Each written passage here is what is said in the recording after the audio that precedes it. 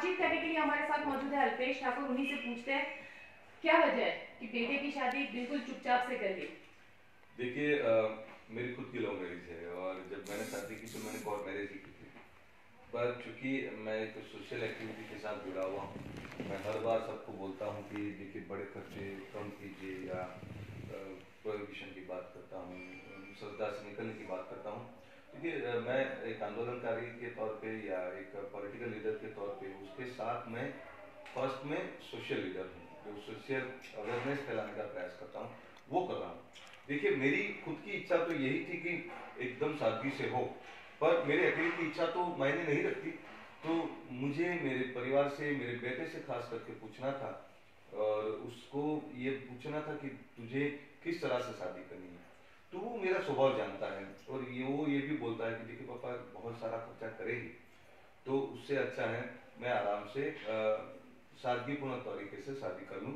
और आप जिस तरह की सोशल वर्क करते हैं तो आपको भी दूसरों को बोलने का मौका मिलेगा कि आप दूसरों को भी बता पाएँगे कि देखिए सादगी से शादी कर लीजिए। और देखिए अच्छा मुझे इसलिए लगा कि मेरे बेटे ने मेरी मेरी सोच को समर्थन दिया।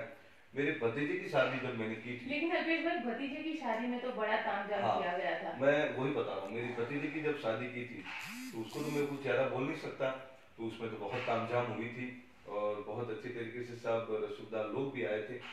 पर मेरी दिल की ख्वाहिश यही थी कि मेरे बेटे की शादी क्योंकि भतीजे को मैं ज़्यादा नहीं बोल सकता पर मेरे बेटे की शादी बहुत सादगीपूर्ण तौर तरीके से हो और उसने मेरी ख्वाहिश भी पूरी की। और मुझे अच्छा भी लग रहा है कि 24 घंटे के अंदर मैं मेंटली फ्री हो गया और उसके अंदर मुझे सबसे ज़्यादा सपोर्ट मेरी माँ और मेरी अ, मेरी धर्मपत्नी ने दिया। उन दोनों ने भी और मेरे पापा ने भी बोला बोला अच्छा है, ये ये बहुत अच्छा तरीका है। और मुझे लगता है कि इससे जो बड़े लोग हैं, उसके साथ जो शादी के अंदर बहुत ज़्यादा पैसा खर्चते या कहीं पे ज़मीन खेती बाड़ी बेचते हैं, उनको भी मैं बोलने का एक मुझे अवसर मिलेगा। तो मेरा तो मकसद यही था कि देखिए शादी के अंदर खर्चा क्यों करते हैं? क्योंकि उससे खुशियाँ मिलती है हमें अच्छा लगता है हमें।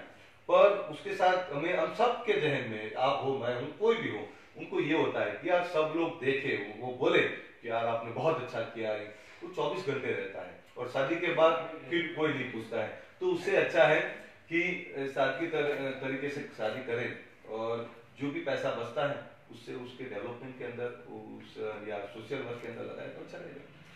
आ- आप कौन से देखिए, मैं तो मुझे तो अच्छा लगता है जहाँ पे भी एजुकेशन की बात होती है, जहाँ पे भी यथाशक्ति के तौर पे मैं हर जगह पे कुछ ना कुछ देता हूँ, किसी को खाली हाथ नहीं जाने देता। जब तक मुझे गॉड ने शक्ति दी तब तक मैं अच्छी तरह से देने का प्रयास करता हूँ। पर चूँकि आप, मैं आप सबका और गुजरात का भी बहुत आभारी हूँ कि मेरी जो बात थी, उस संदेश को आपने घर घर घर घर तक पहुँचाने का प्रयास आप और आपके तरह जितने भी मीडिया कर्मी ने किया, सबका शुक्रिया अदा। मैं नहीं चाहता कि किसी को पता चले बट जब शादी की और जिस तरह से सोशल मीडिया में सबको पता चला और मीडिया ने भी उसको एक सोशल मैसेज की तरह चलाया, मैं आप सबका शुक्रिया अदा करता हूँ। और इसके अंदर सब लोग सीख ले और ज़्यादातर अमीर लोग सीख ले कि चाहे जितने भी खर्चा करेंगे 24 घंटे के बाद तो वो सब भूल जाने वाला है। तो इससे अच्छा है कि दो पाँच लोगों को भी आप उस पैसे से उस पैसे को अपने बेटे और बेटी की जो बेटा है और उसकी बहू है बेटी उन दोनों के डेवलपमेंट में लगाए और उससे थोड़ा बहुत भी सोशल वर्क में लगाएँगे तो बहुत अच्छा रहेगा। गुजरात तक से बात करने